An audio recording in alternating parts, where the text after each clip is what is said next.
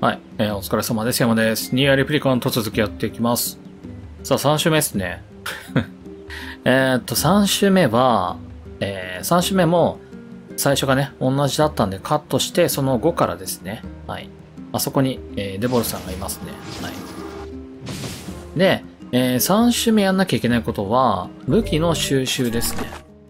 武器の収集率を、今90%なのを100%にすると。で、えー基本もう全部集まってる。全部じゃないけど、あの、店買いとか、このストーリーで集めるやつはもう全部集め終わってるんですよね。で、えーやんなきゃいけないのが、ここの家にあるね。えーこれかな？ここに、なんか、亡くなったお母さんの日記みたいなのがあるんだって。で、ここを調べると別世界に行ってなんかいろいろあるみたいなんで、そこで武器をゲットできるということみたいなんで、そこをやっていきますと。で、あとは、まあ、プレス3版の知識しかないんでわかんないですけど、違いはね、多分ほとんどないと思うんですよね。なので、まあもしあればですけども、違いがあればそこを抜き出してみたいな形でやっていこうかなと思います。うん。まあ違いがあればね、多分わかりやすく してくれてると思うのでね。はい。多分、えー見間違えないというか、取りこぼさないようにはしたいんですけど、したいんですけどもね。はい。で、えー、多分今回撮ったら次回まで、だいぶね、リアルタイムで時間が空くと思うんですけどね。はい。まあ頑張ってやります。はい。じゃあやっていきましょうか。これね。なんだそれはこれは母さんの日記だよ母親の？ああ。国門病にかかって俺が小さい頃に死んでしまったんだ。すまん。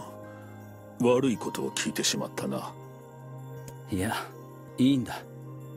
もう顔もおぼろげにしか思い出せないしな。これは唯一残った母さんの形見なんだよ。これを読むと頭の隅にある家族の記憶がかすかに蘇るんだそうか。だけど最後の数日間の日記には奇妙なメッセージが数行書かれているんだ。奇妙なメッセージ？ああ。それはおい聞こえておらんのか？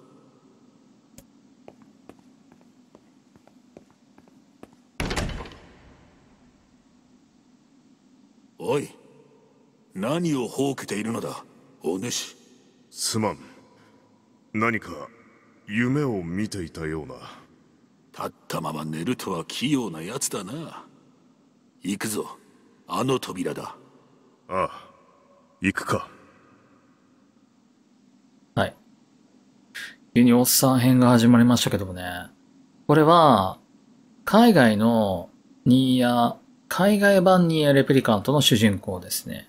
で、タイトルも変わっていて、ニーヤゲシュタルトだったっけな？ゲシュタルト。はい。で、えー、話もね、まあ、お父さんと娘だったっけ？ちょ、やってないんでわかんないですけど。お、すげえ。すげえ。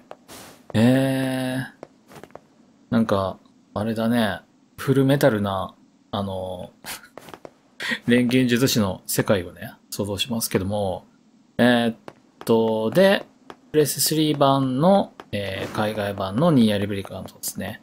で、PS3 版の DLC にもついてたんだって、この話。俺やんなかったんですけどね。完全にね、存在はね、知らなかったというか、忘れてましたね。はい。やっていきましょうか。えーっと、母親の日記の最後の数行？数、数ページ？ああ。はいはいはい。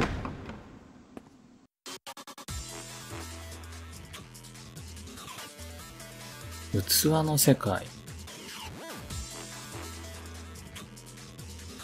ああ、これはどうしようかな。録画した方がいいのかなあ、上いけないんだ。多分ね、ボス、あー、雑魚なんだ。雑魚じゃない。敵ラッシュみたいな感じだと思うんだよね。素材も取れないし。降りられる。おーすげえ。で、操作感はまんま変わんないですね。どうなんだ？終わった。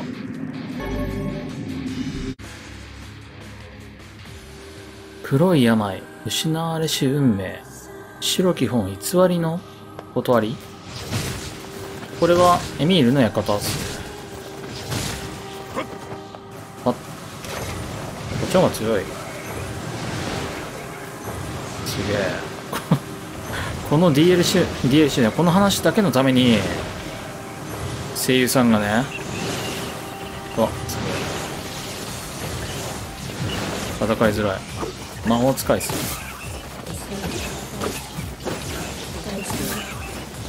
ね。呼ばれたんだ。はい。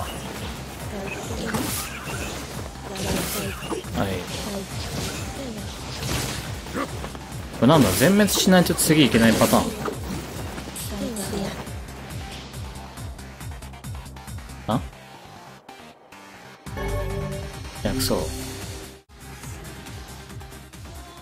白き死を呼び起こせし塩の兵士そんなねレギオン。あちょまだ早いな。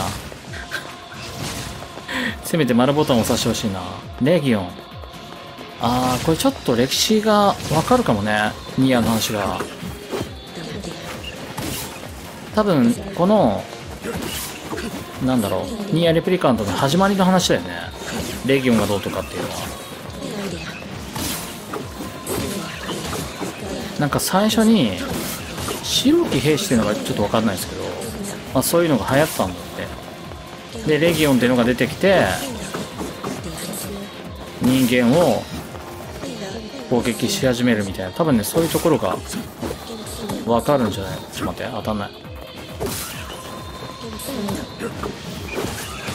はい。ああああ結構食らうね魔法は。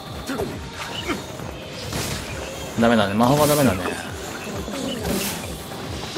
痛い。これ終わる前に薬草使っとかないと結構厳しいかも。どこだ？ねこいつ倒したらまだか。ちょ待って。直線的なんだけど。早く使っといて。ど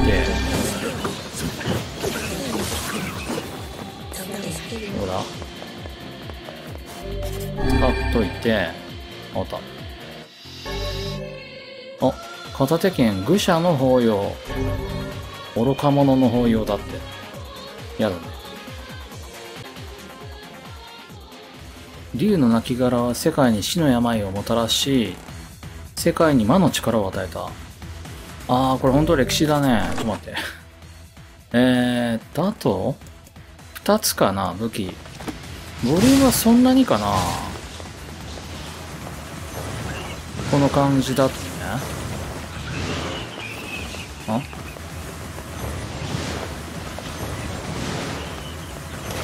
ねそんなにだね。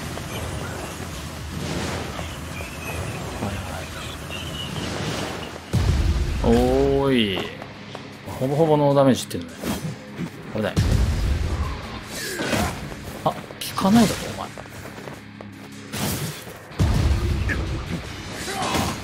硬い。しかも見えないんだよね。はい。当たんない。正面しか当たんないんだ倒した。あと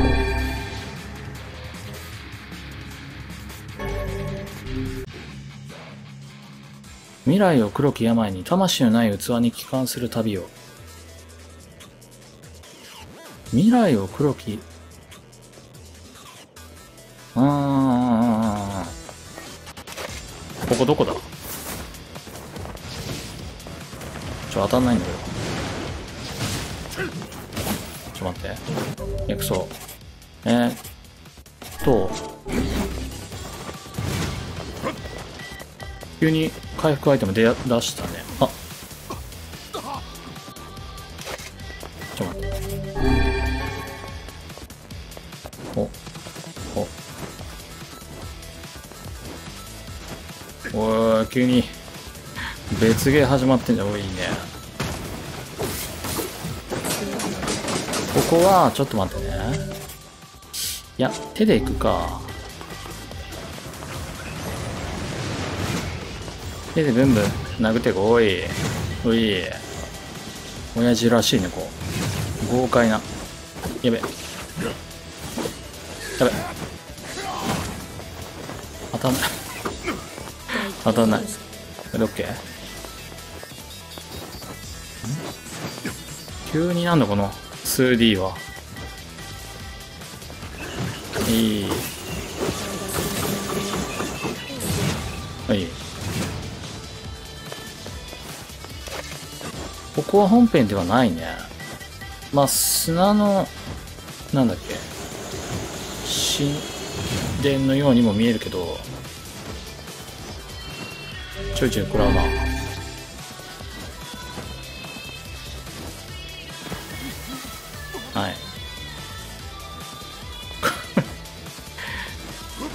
はい。はいボス。敵がでもそんなにだね。はい。早く使っとこうか。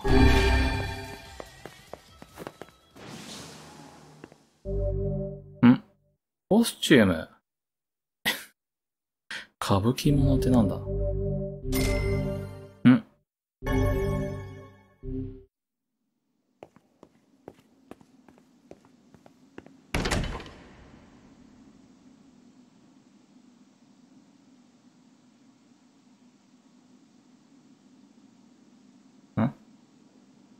最初あっちから来たよね、確か。なんか、互い違いだった気がするんだよね、最初。で、あそこ入ったから次がこっちみたいな。なるほどね。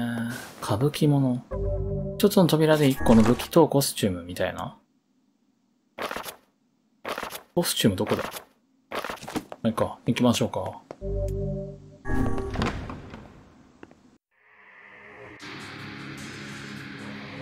災いは世界を二つに分けた。昼と、ん？夜。ああ、だからあれか。え、おい。ちょっと待って、結構やるじゃん。ん？以下の行為を禁ず、刃を振るうトラ。え、なんで遅いの？早く言ってよ。終わった。黒と白13の契約。6と地を超えて器の形は揺らぎ続ける。13の契約。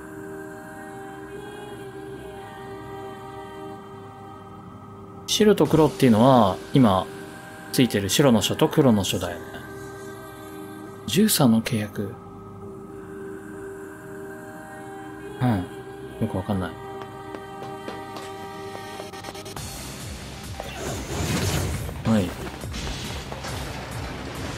ちょっとこれ、難しいな。黒の槍。結局槍なんだよね。はい。使っといて。で、昼と夜に分けたっていうのは、器が、あ、違う、昼と夜じゃない。昼のない世界と夜のない世界か。そういやさ、主人公たちがいる世界に昼はななかったよね。昼の、あ、違う、夜の描写がなかったよね。そういうことかなそういう風に作ってんのかなすげえ。痛い痛い痛い痛い。めっちゃ撃ってくんじゃん。あ、これ遮蔽物に使えるってこと？そうだね、きっと。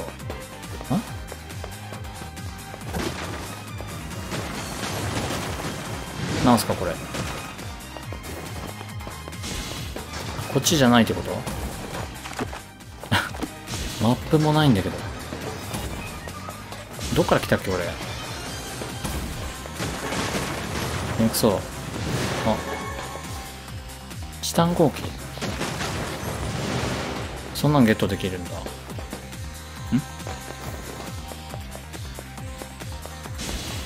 で、昼のない世界っていうのは魔物たち用だよね。なぜか魔物は、えー、日光に弱いからっていうことっすよね。なんか寄り道多いな。あ、これいわゆる宝、閉じ込められたようだなチタンゴーフ。危ない危ない。オッケー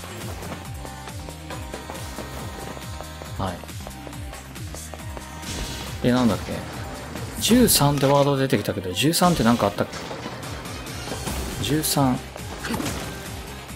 閉じ込めあ、またか。多いな。しかもこの窓、やばい。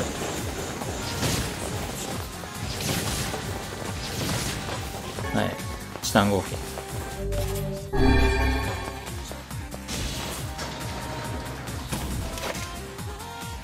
この BGM さ、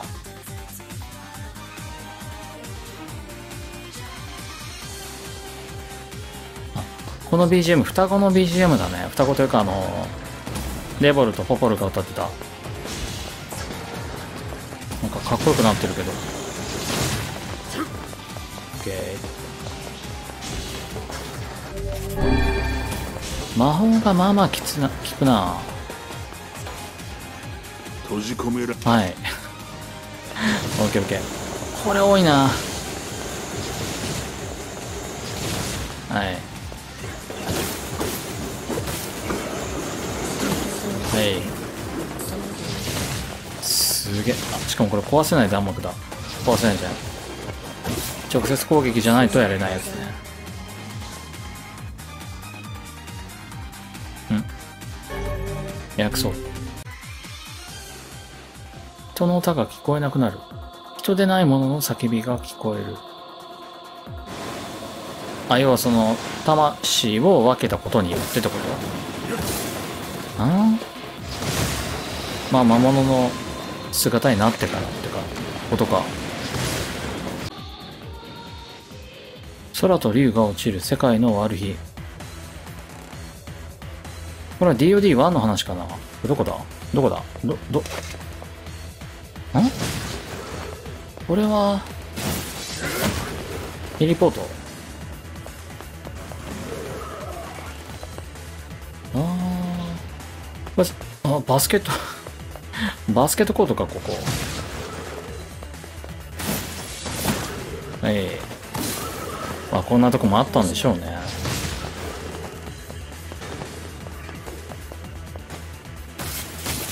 おー、すげえ。終わり？薬草。司祭となりし操り人形。呪詛を集め器を磨く。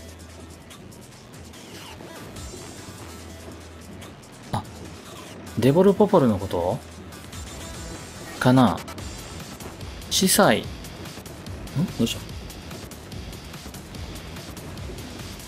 あ、もう始まってる？あ、え、な、な、これ、急に。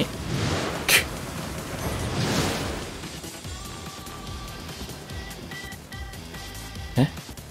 急にアトラクション始まったんだけど。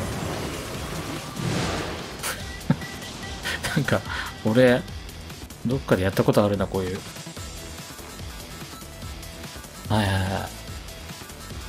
ありそ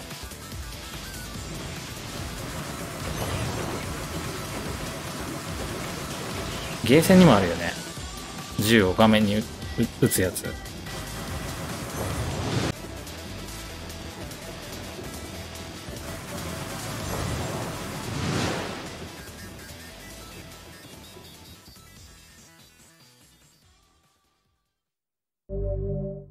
うん。鎧武者。すげえすげえ。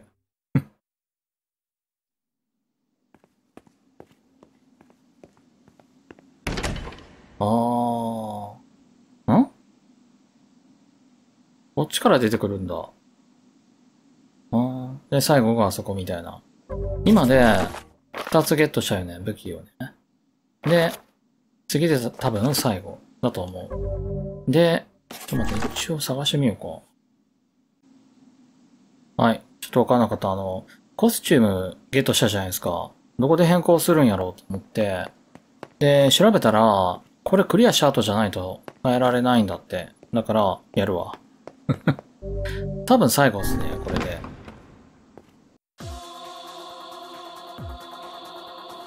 この記憶がある限り、人々に希望がある限り、肉体の聖地を奪うちを、肉体の聖地を奪うちあ？肉体のせ、あー。まあ多分帰るべき場所だよね。その人としての慣れの果てになってしまった人間がいつか帰るための場所だよね。聖地っていうのは。あれ？こんな場所あったっけ？あそこ海岸の街ですよね。普段あっちで うろうろしてたんですけど、こんな場所あったっけ？ないよね。多分このためだけの場所だし、お前ら強いのちょっと、パラメータがだいぶ強化されてんな。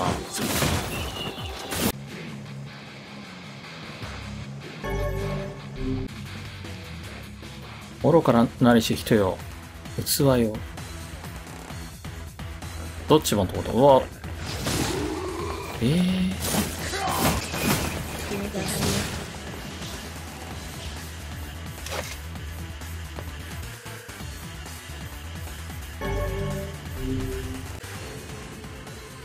べてを代償に、すべてを犠牲に。すべてってなんだ？うん、まあ、肉体、あ、錆びた塊、え、ちょ待って、これめっちゃいいんだけど、錆びた塊は、えっとね、えっとね、鉄塊の材料なんですよね。だからすげえ欲しかった。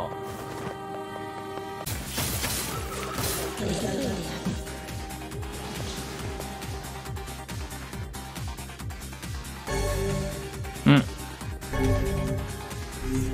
グシャン。光を取り戻させるの。器を、未来を、それを取り戻させるの。これ誰に言ってんだ？どっちか、どっちかっつうと、この器体である私たちに向けたい感じっぽいですよね。なんだろうね。OK。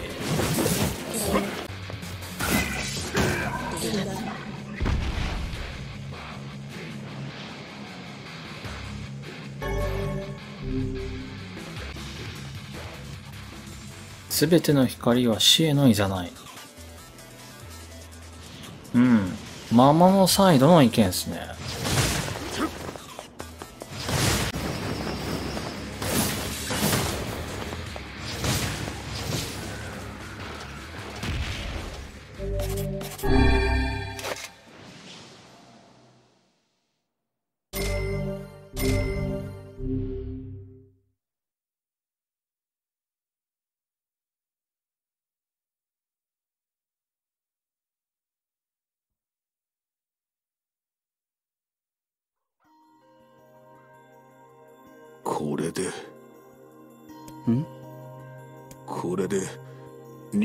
全てが終わりなのか。そうみたいだな。なるほど。何か分かったのか？いや何も。やっぱりそうか。あ？え？またその日記か。ああ。どうしても気になるんだ。繰り返される器の世界か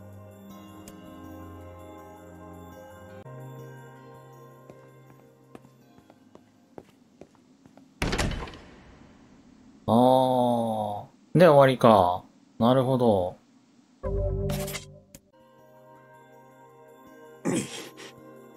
どうした？何か、夢を見ていたような。ああ、わかる。俺もこの日記を読むとそんな気持ちになってくる。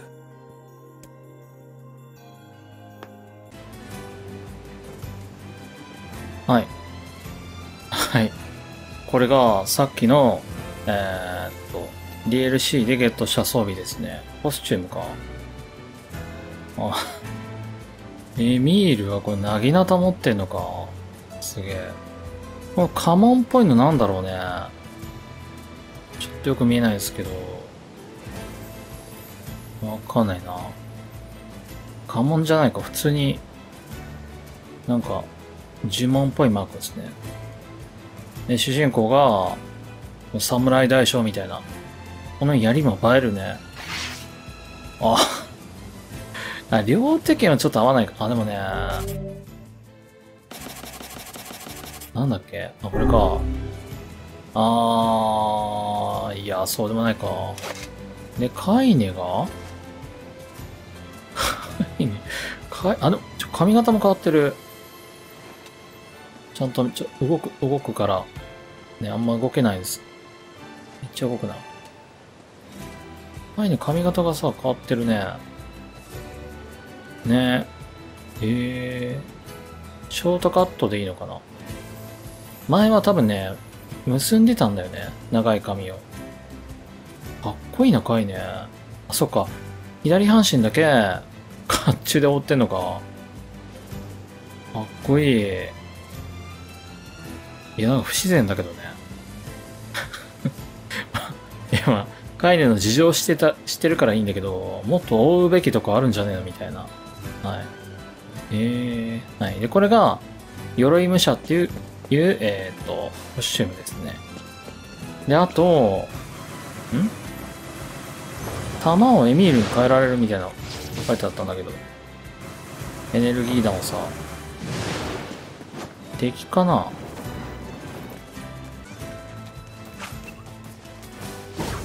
おー、怖っ。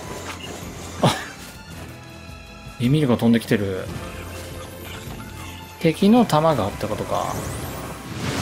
なるほどね。はい。はい。で、これが、歌舞伎物ですね。歌舞いてる？これ。わかんない。あー、でも髪染めちゃってんな。赤っぽくなってる。もうちょい寄ってほしいんだけど。多分染めてるよね。化粧はしないよね。エミールどうなってんのあれ。赤いけど。ピンク？鯉のぼりじゃん。鯉のぼりになってますね。鯉のぼりの先っぽだけ。えー、をポンチョにしてんのか。めっちゃ動くな。えー、え、カイネは？金太郎じゃん。金って書いてる。ああ。いい感じにおかっぱになって、刈り上げてますね。へえ。はいはいはいはい。で、まあその、覆うべき部分は、黒い包帯かな？で覆ってますね。へえ。まさかりいるんじゃないこれ。はい。で、あと違いとしては、あの歌舞伎物を選択した場合は、歌舞伎物をね、えっ、と、ローディングって右下に出るじゃないですか。あそこがエミールになりますね。で、鎧武者にした場合は、カイネになるっぽい。多分ね、そういう違いがあるっぽい。ちょっと出してみようか。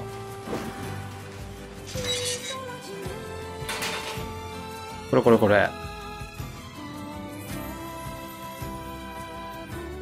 はい。まあちょっと短いんですけど、そういう違いがありますね。はい。まあ、こういう感じですかね。はい。じゃ最後ふざけましたけども。で、DLC の名前が、15ナイトメア。えっと、今が2000年代からだいたい1300年ほど経ってんだよね。だから、まあでも人が100年生きるとは思えないけどね、この 時代に。わかんないけど、まあ15世代っていうことですかね。ポポルがさ、次の世代にしたかったみたいなこと言ってたよね。あと100年つって。だから、そういうことなのかな。繰り返してるってことだよね。この主人公、あと、ヨナも、カイネももしかしたらそうかもしれないね。みんな、あ、エミールは多分違うよね。多分エミールだけは純粋な人間じゃないのかな。はい。まあ、もう今は違いますけど。はい。っていうことなんでしょうね。ずっと繰り返してきたってことですよね。はい。で、もしかしたら、その繰り返してる途中に、あのおっさんの見た目になってた可能性もあるよね。あのーあ、この主人公が成長したらあの見た目になるのかな？それはあり得るね。あまあまあまあ、ちょっと言い出したらきりないんで、えーここまでにしときたいと思いますと。で、えーここからやっていくんですけど、違いがあるとこだけ抜き出してね、見ていくつもりでいるんで、えーよろしくお願いしますということで、えー以上です。ありがとうございました。